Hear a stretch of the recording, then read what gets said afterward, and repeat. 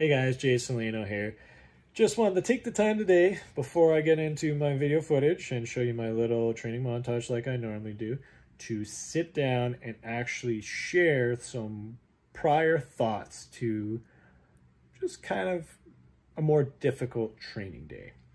Now the reason why I'm saying it's more difficult is because today is my deadlift day, which isn't really that much different than normal.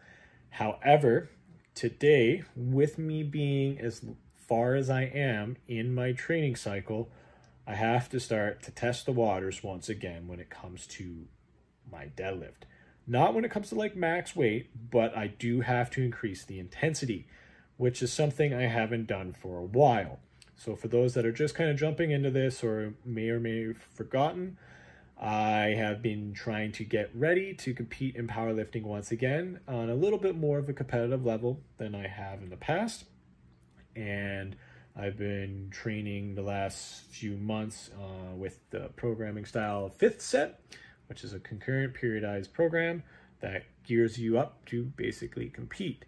So it's four mesocycles or four cycles for layman's terms and on your last cycle you basically peak for meet well right now i'm in my third and that means that i start to increase a bit of intensity to gear things a little bit more to strength than less to muscle building.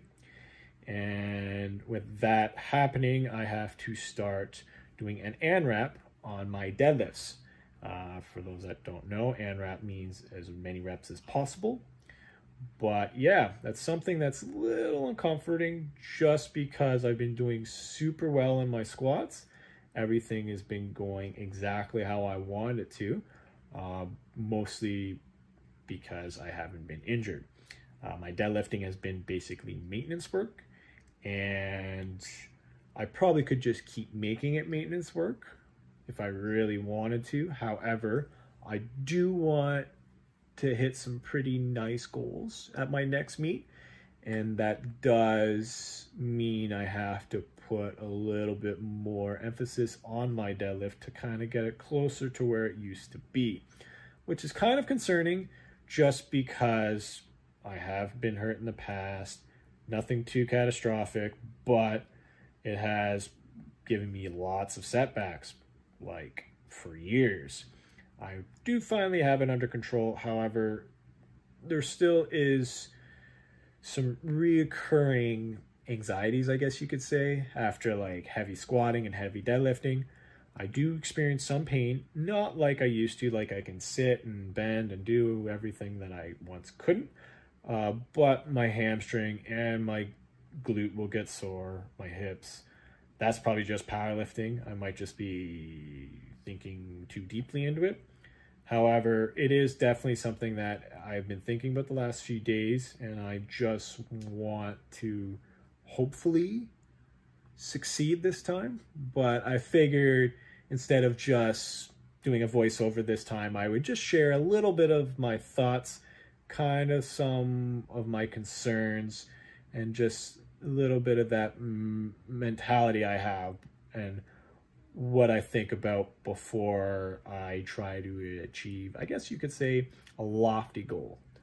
Uh, but guys, just wanted to quickly tell you that, quickly talk, mainly think out loud in front of the camera, probably making things a little bit easier for me.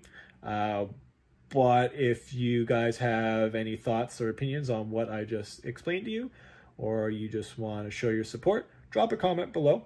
Or if you have any fancy, funny ideas that you want me to take on, just to throw a video up during these isolated times, let me know as well. Uh, because despite being an essential worker, I got a lot of free time as well. So yeah, drop those comments down below. And also take the time to hit the like, share, and subscribe to Spread That Love, because I know you want to. And I will see you next time.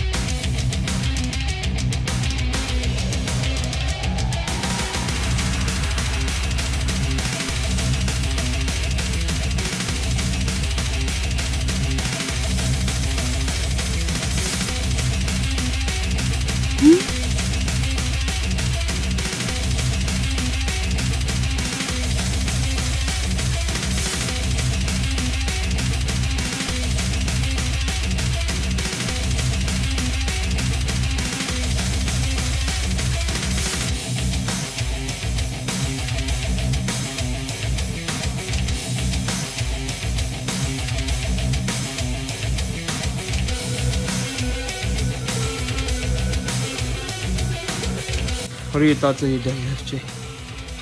We'll see. We'll see how she goes. Oh, that's really exciting.